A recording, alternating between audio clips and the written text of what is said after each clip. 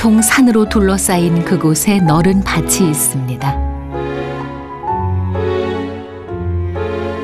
산비탈에 일렬로 늘어서 있는 키 작은 나무들이 이 가을 실한 열매를 주렁주렁 달고 있습니다.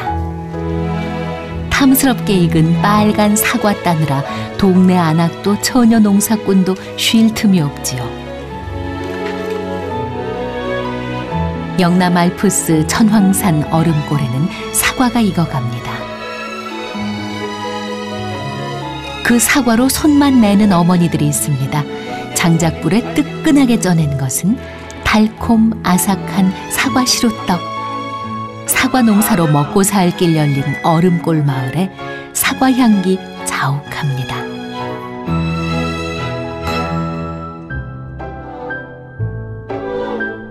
천황산 중턱 700m 고지에 사과밭이 있습니다.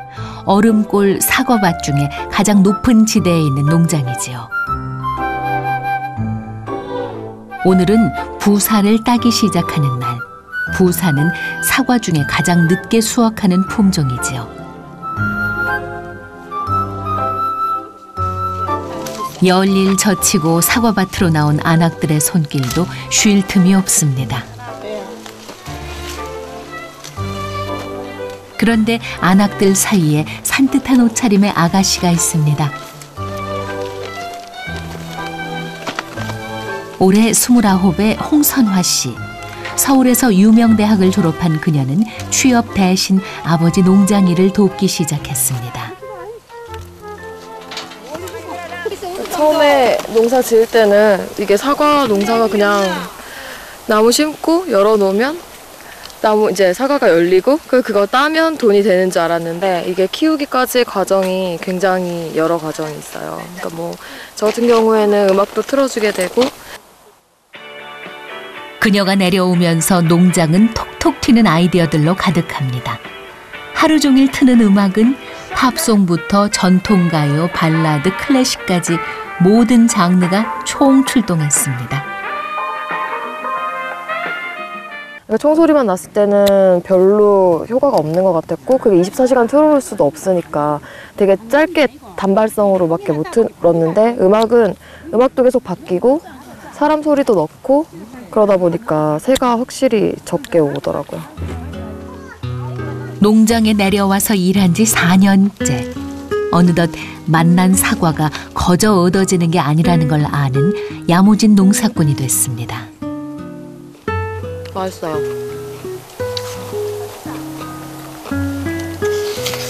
일하다가 갈증 날 때는 사과 하나면 족하지요. 아삭하는 소리와 함께 달콤한 과즙이 입안에 퍼집니다. 갓 딴 사과가 땀 흘린 뒤 잠깐의 휴식을 더욱 달콤하게 만듭니다. 탐스런 사과가 수북히 쌓였습니다. 당도 높기로 유명한 얼음골 사과입니다. 출하를 위해서는 아직 농부의 공이 더 들어가야 합니다. 우선 매끈한 사과만 골라내 꼭지를 땁니다. 사과끼리 서로 부딪히면 흠집이 나기 때문이지요.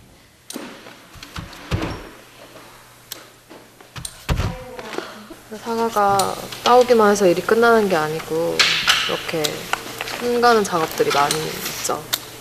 근데 크기별로 선별도 해야 되고 이렇게 사과, 사과 상하지 않게 꼭지도 따야 되고 이런 상한 사과는 따로 분리해서 보관해야 되고 깜짝이야 이까지 날라왔잖아 조심해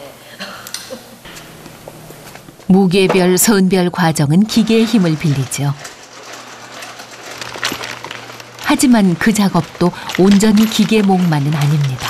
마무리는 사람 손길이 필요하죠. 어느 것 하나 선화 씨 손길 닿지 않는 것이 없습니다. 그 중에서도 빠르고 야무진 포장 솜씨만큼은 자타가 인정한다네요.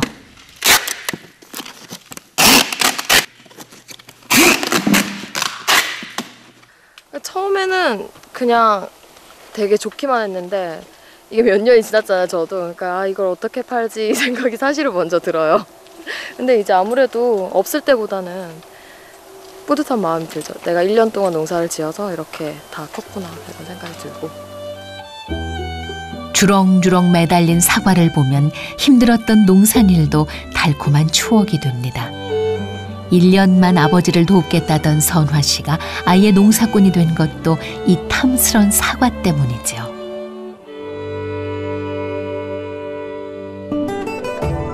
사과 향기는 처녀 농사꾼 집에서만 나는 게 아닙니다.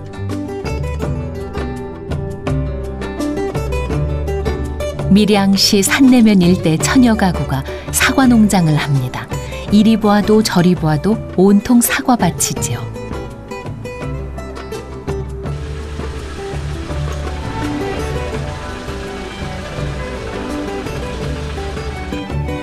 손을 현 할아버지도 사과 수확에 들어갔습니다. 잘 정돈된 사과밭에서 할아버지의 애정과 정성이 느껴집니다. 아따 사과 좋다.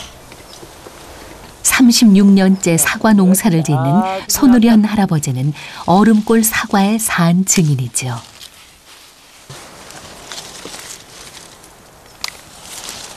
우리 지역에서 이제는 처음을 씨앗습니다. 그 당시에 이제 사과가 굉장히 없었습니다.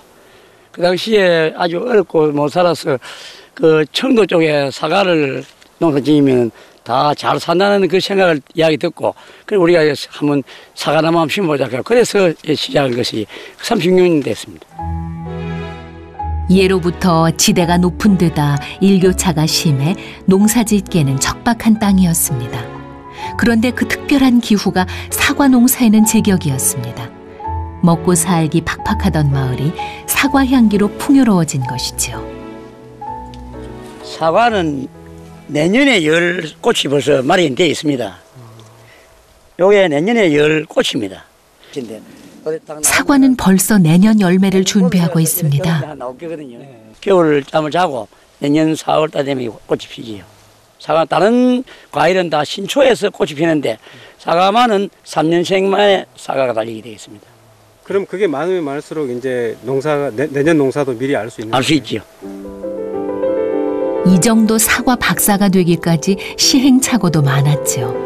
하지만 정성 들인 만큼 사과는 열매로 답을 해주었습니다. 오남매 공부시킨 것도 다 사과 덕이었지요.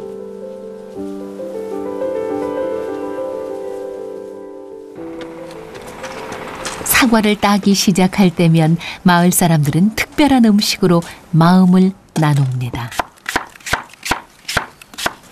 갓딴 사과로 만드는 얼음골 특식이지요. 다 같은 뭐 그 별미라고 딱 요 시기만 먹을 수 있는 예예 따는 시기나 요리해가지고 그래 먹으면 맛이 있어요. 사과떡의 주 재료는 햇빛에 잘 말린 사과 말랭입니다. 일주일 정도 가을 햇살과 바람을 쐬면 사과는 적당히 수분이 날아가 먹기 좋게 마릅니다.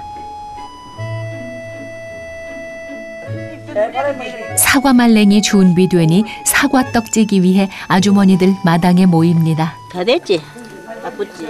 재료는 간단합니다. 쌀가루에 사과 말랭이와 팥고물을 골고루 섞어서 솥에 붓습니다. 그리고 그 위에 팥고물을 넉넉하게 뿌리지요. 이제 불 조절만 잘 해주면 됩니다. 마치 단체 사진이라도 찍는 듯 나란히 자리 잡고 앉은 아주머니들.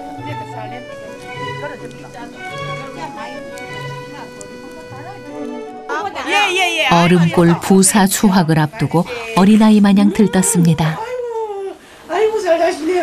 이거 술도 담아 먹고 얼굴에도 좋고 여자 피부도 좋고 막 참 좋아요. 한 시간쯤 지나자 달콤한 향이 마당 한가득 퍼지고 먹음직스러운 사과 시루떡이 완성됐습니다. 김이 솔솔 나는 말랑말랑한 사과 시루떡. 그 향에 군침 돈 아주머니들도 한 입 뚝 떼어 먹어봅니다. 아니 아니 장아리 들어가니 그냥 달콤하고 진짜 거망이 맛있다. 사과 시루떡 냄새 맡고 마을 사람들 모두 모입니다. 떡잔치 벌어지는 곳은 마을 정자.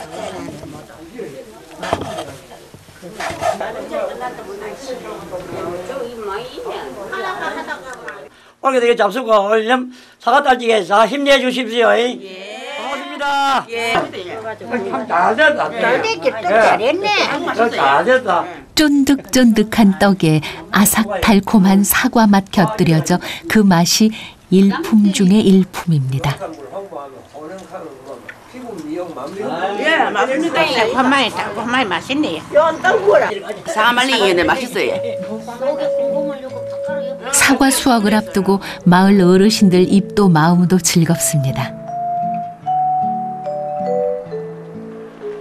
이곳 사과가 유난히 맛있는 데에는 특별한 기후 조건이 한몫 단단히 했다지요. 꽃 피는 시기가 전국에서 사과 주산지 중에 제일 먼저 핍니다. 수확이 또 제일 늦게 하지요. 그러다 보니까 이 식감이고 이 향이 특이한 그리고 또 하나의 비결이 있습니다. 영남 알프스 1000m 고산 중 하나인 천황산. 그 중턱에 얼음골이 있습니다.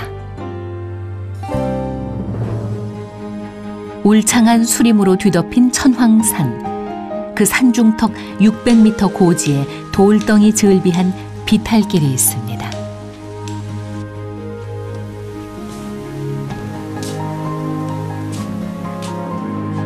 큼직한 돌덩이들이 켜켜이 쌓여 돌산을 이룬 곳. 이곳이 한여름에는 얼음이 얼고 겨울에는 따뜻하다는 얼음골입니다. 지금은 얼음이 없지요. 여기 얼음은 겨울에도 얼음이 얼지 않습니다.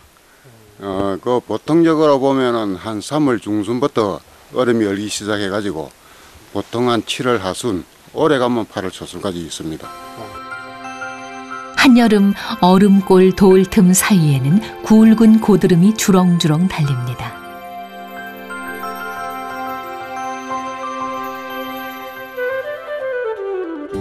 여름에 얼음이 어는 이유는 돌덩이들 때문입니다. 한겨울 골짜기에 머무는 찬 공기가 돌 틈으로 들어가 바위 깊숙이 숨습니다. 찬 공기가 무거워 아래쪽으로 깔리기 때문이지요.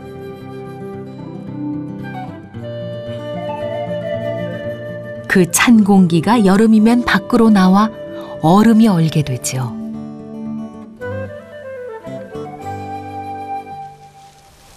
얼음골 냉기는 사과가 열매를 맺기 시작하는 여름철 얼음골 아랫마을의 일교차를 더 크게 만듭니다. 사과가 더 달콤해지는 이유지요.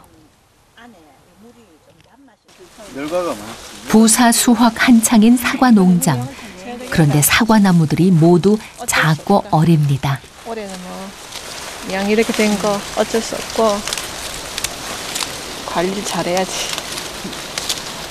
그 옛날 사람은 이제 전부 다 뭐 하늘이 이제 농사를 다 지어준다 하는데 지금도 뭐 하늘이 뭐 50%는 짓지만 50%는 이제 자기 노력하고 이제 공부도 해야 되고 심은 상태에서 3년 경과해야지 이제 사과가 이제 제대로 된 사과가 이제 나오거든요.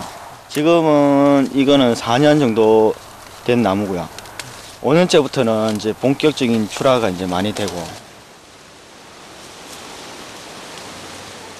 부모님이 하던 농장을 이어받아 새 묘목들을 심었습니다. 젊은 사람이 지가 내년에는 좀잘 짓도록 한번 해보자. 어린 나무처럼 아직은 경험이 많지 않은 젊은 아들. 하지만 25년간 부모님에게서 보고 배운 건 정성을 들인 만큼 결실이 있다는 것입니다. 이 나무가 한참 이제 클 때 수확이 한참 나올 때는 이제 저도 뭐 그때는 이제 이쪽 이제 농사 지으신 분들에서는 좀 인정을 받는 실력 있는 이제 농업인이 좀 되고 싶다는 게 제 꿈이고 3년 뒤 가을이면 그의 꿈이 이 나무마다 주렁주렁 매달리겠지요. 척박한 땅에 사는 사람들에게 먹고 살 근심 걱정 덜어준 사과입니다. 그 사과를 통해 젊은 청년들도 미래가 생겼습니다. 이 가을 얼음골에는 꿈이 가득한 사과가 붉게 익어갑니다.